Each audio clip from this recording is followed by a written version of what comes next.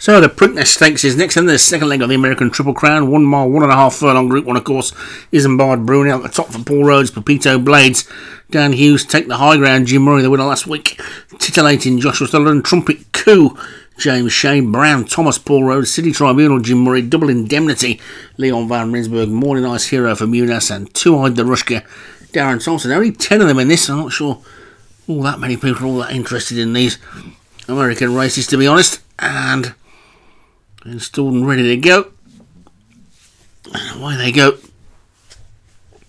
And Morning Ice Hero, Brown Thomas on the outside, and Brown Thomas is the one who's going to get off into the lead, is he? But now Morning Ice Hero comes back up the inside. Then Pepito Blades, his third City Tribunal is there. Take the high ground. He's much closer today than he was last week. Then comes Double Indemnity, looking towards the back. Trumpet Coup, who was the other one who came through with a rattle last week, is doing the same thing this week and sitting out the back. So let's see how the tactics work this time. Morning Ice Hero is in front. Brown Thomas is in second. Isambard Kingdom Brunel is chasing after that one. Then comes City Tribunal and take the high ground with Double Indemnity and Pepito Blades. Then comes Two Eyed Darushka and finally Trumpet Coup. Five and a half furlongs left to go then in the Preakness, and it's Morning Ice Hero who's clearing the lead from Take the High Ground in second. Then Isambard Brunel and Brown Thomas on the inside. After that one, Double Indemnity in the City Tribunal. The Grey Pepito Blades is next. Then Titillating Trumpet Coup is getting a bit closer. Two Eyed the Rushka He's going to try and come round the outside, but Morning Ice Hero is currently two and a half lengths clear of Brown Thomas in second on the outside. City Tribunal coming through with a run.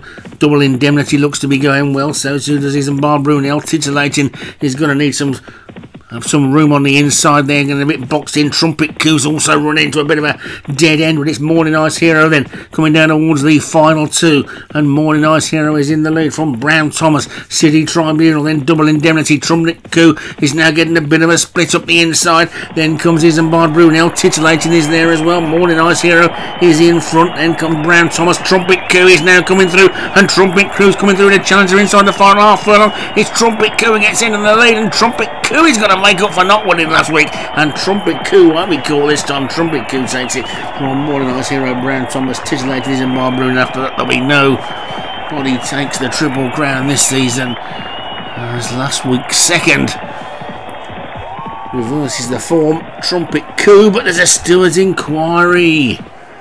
And Trumpet Coup did have a bit of a dodgy passage through. And he's been chucked out. Oh, goodness me. James Shea. Trumpet Coup has been thrown out of the Preakness for causing interference. I didn't see him causing that much interference. I thought he won that on merit and he won it easily. To be honest, that is a travesty. In my book, Morning Ice Hero for Munas takes the Preakness. I'm not sure Munas will actually be all that pleased about that because I think he'd probably agree that Trumpet Coup was the better horse but it's not what's going to be in the books. And Morning Ice Hero for Munas takes the Preakness. Brown Thomas for Paul Rhodes second. Titillating for Joshua Sutherland third. Isambard Brunel for Paul Rhodes back in fourth. City Tribunal for Jim Murray fifth. Last week's winner take the high ground. Never got into it at all. And Trumpet Coup. So unlucky. Maybe the jockey should have gone round the outside instead of trying to weave up the inside, but I don't think he caused that much trouble, and I think he won it on merit. But there you go.